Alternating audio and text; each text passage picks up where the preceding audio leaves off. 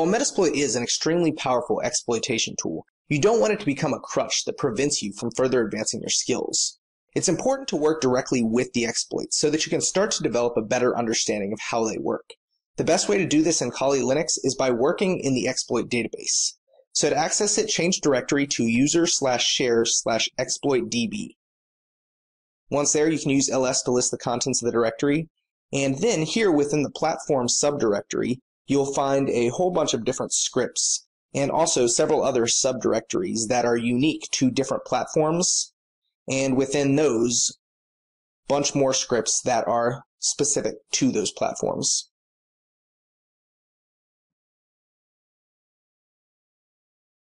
So rather than trying to search through all of these different scripts and trying to find the one that you need that way, you can actually search through the files.csv file that has information about each of the different exploits within these subdirectories. So to do this, we can use the grep function. So let's say that I'm familiar with the particular service running on a foreign system that I want to exploit. I could use grep, then in this case, free sshd, and then the file that I want to perform the grep on, so files.csv. And here we get a list of each of the different exploits with that keyword in it. I can then further narrow my search by piping it over, and then using the grep function on the output of that result. And here we grep out just the remote exploits and eliminate the denial of service exploits that were listed there. So now we're down to only two exploits. And this second one in particular is the version that I need an exploit for. So I want to then browse to that directory. So change directory, then platforms, Windows, and remote.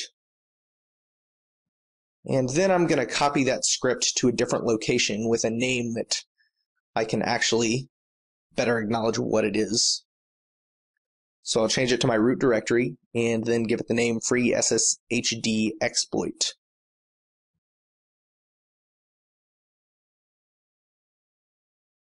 And then we'll change to our root directory.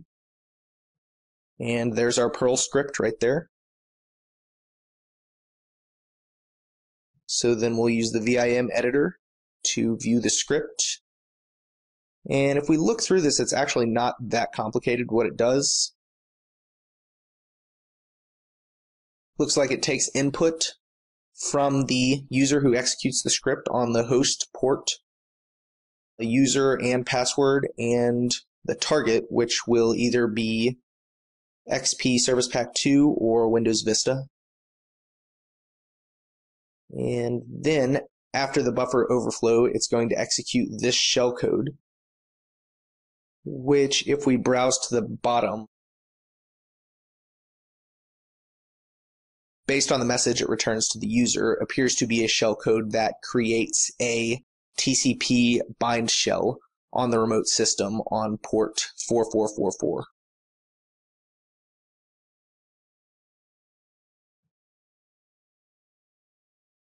Now, a lot of these scripts are going to have to be tweaked because of certain things hard-coded in the script. In this case, that doesn't seem to be the case.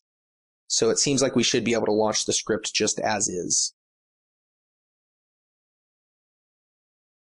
So we'll execute the script once without any arguments to see the usage once again. And notice that it does prompt for a username and password. So this is a post-authentication script. So we're just going to assume that we brute force access to the FTP service. We'll further discuss how to perform brute forcing network services in a later video. So then we'll launch the script with the arguments. So first with the host IP address and then the port that the service is running on. And then the user is user, password is password, and then target is 1 for XP Service Pack 2.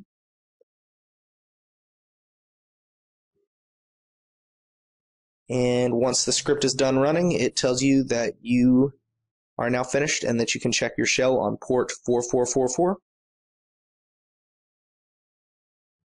So then we'll go ahead and load up Netcat to connect to